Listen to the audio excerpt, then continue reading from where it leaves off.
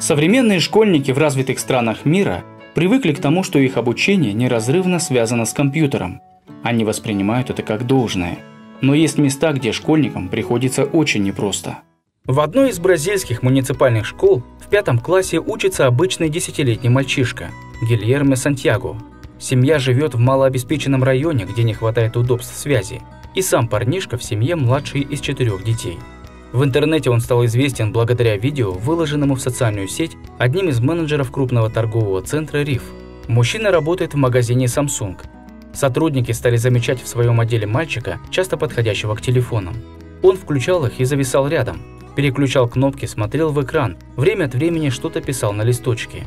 Продавцы были в напряжении, поскольку парнишка был маленький и шустрый. Одежда его не отличалась особой новизной.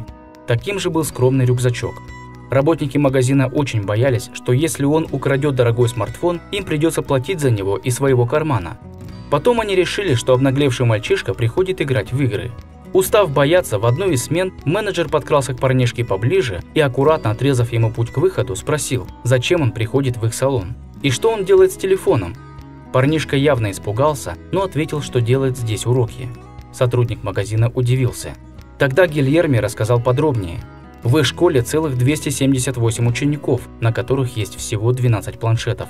Но главное в том, что интернет регулируется школьным советом, и он дает его очень ограниченно, поскольку это достаточно дорого. У его родителей нет столько денег, чтобы платить за установку оборудования. Поэтому, чтобы сделать задание, для которого требуется интернет, он приходит в магазин и использует для выхода в сеть один из телефонов. Вот сегодня ему нужно сделать задание по географии, на которое понадобится минут 10. Менеджер, потрясенный тягой ребенка к знаниям, разрешил ему использовать планшет, на котором работать намного удобнее. Мальчишка с радостью согласился.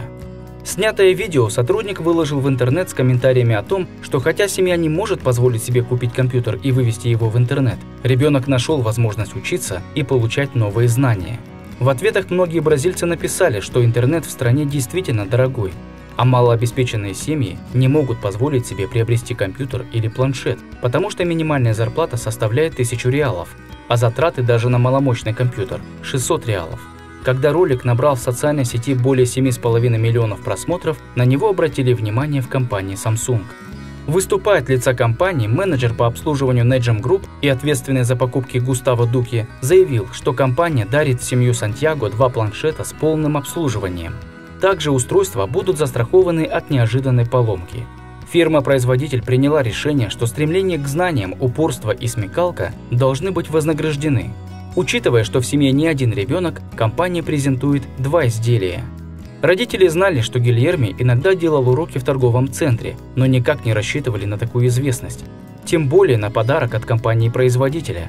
Они уверены, что такой великодушный жест подвигнет их сына учиться еще настойчивее. В каких бы вы ни были условиях, всегда пробивайтесь к знаниям и своим мечтам.